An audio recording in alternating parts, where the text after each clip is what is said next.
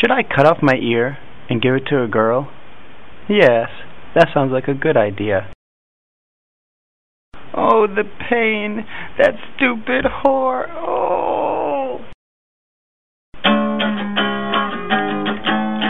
Oh, Van Gogh! What were you thinking?